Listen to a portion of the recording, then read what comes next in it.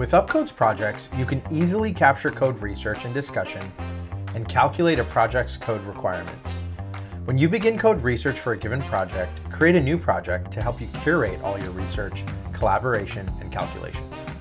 You can create projects that are visible to your team, so anyone on your team who has an UpCodes premium account can also begin collaborating with you.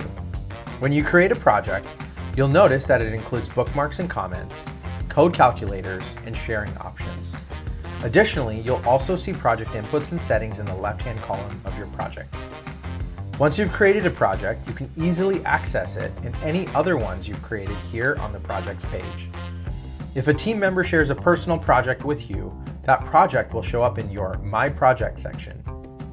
The projects that are shared by others across your team will be visible in the Team Projects section of the Projects page.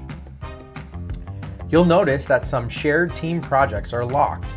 This is an example of a pre-built project template. Maybe you build the same type of building in multiple jurisdictions and you want the flexibility of not having to bookmark those code sections again, add those same comments again, or share the project with the same collaborators again.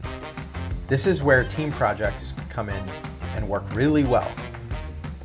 We also provide example projects for you, so you can get a quick overview of what a completed project looks like with bookmarks, comments, and code calculators.